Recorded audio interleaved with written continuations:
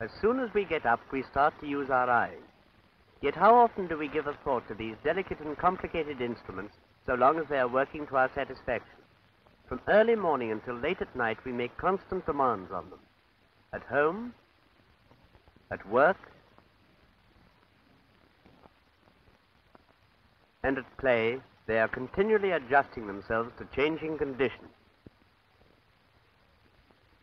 Let's examine the eye in detail and see how it works. Here is a section of an eye seen from the side. The cornea is the transparent part of the strong outer covering. The iris controls the amount of light admitted to the eye by making the pupil or aperture for light larger or smaller. The lens throws an image onto the sensitive screen known as the retina. The impressions on the retina are carried to the brain by the optic nerve. In this way, we see. In principle, the working of the eye is similar to that of the ordinary camera.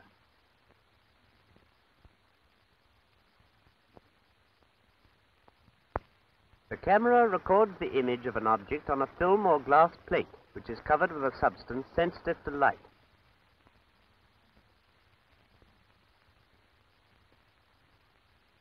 The light rays from the object pass through the lens and form an image on the sensitive plate or film. In the same way, the lens of the eye forms an image on the sensitive surface of the retina. It is then transmitted by the optic nerve to the brain. But if the brain or optic nerve is damaged or affected by ill health, eyesight will be defective. Here is an inverted image of an object as it appears at the back of the camera. To make it sharp, a focusing device is fitted which corrects the distance between the lens and the plate.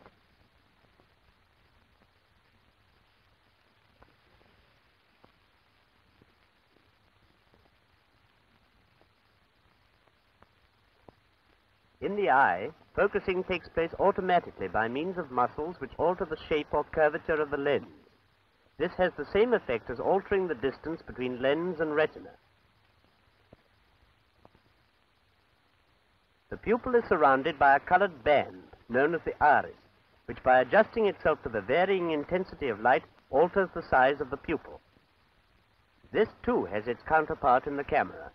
The variable lens diaphragm controls the amount of light passing through the lens. The eye adjusts itself automatically to the quantity of light. Coming from the bright light of day to the inside of a cinema, the eye can at first see little or nothing of the surroundings.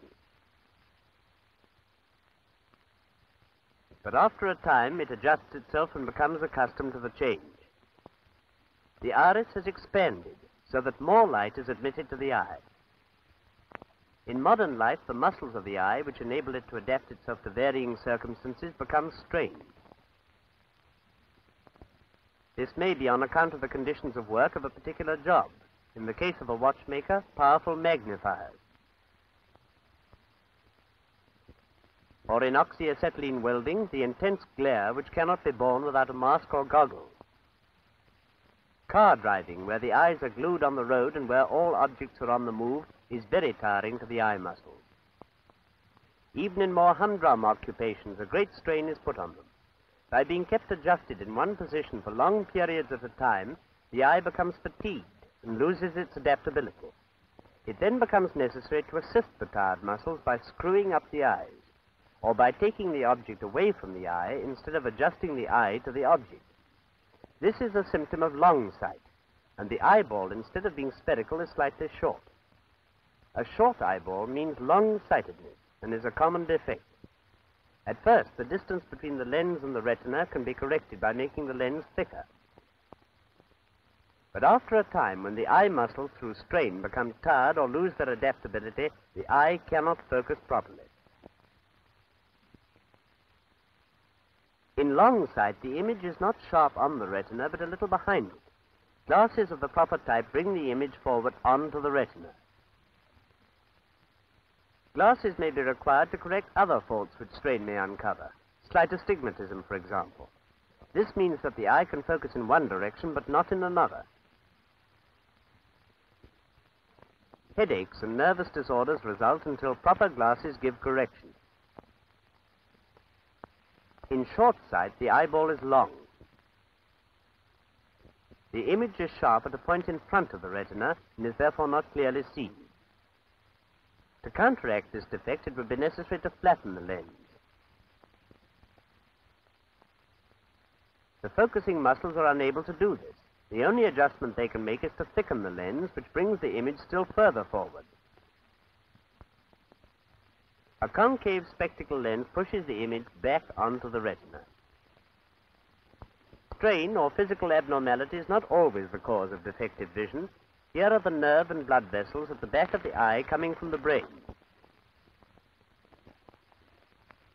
Thus the eye shares in the life and health of the body. Since the eye is closely connected with the general nervous system and the bloodstream, faulty eyesight is often an indication of poor bodily health. Whenever you have eye trouble, go and see an eye doctor. You may think you only need glasses. Go to him just the same. Only he can tell whether the brain, nerves, or blood system are at fault or are being affected.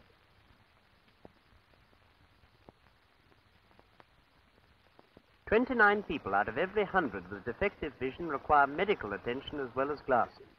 And for six in every hundred such persons, medical attention alone is required.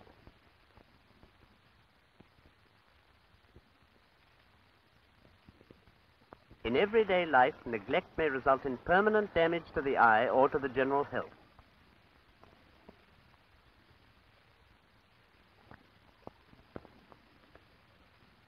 See an eye doctor at the first indication of defective vision. The advice of an eye doctor saves sight.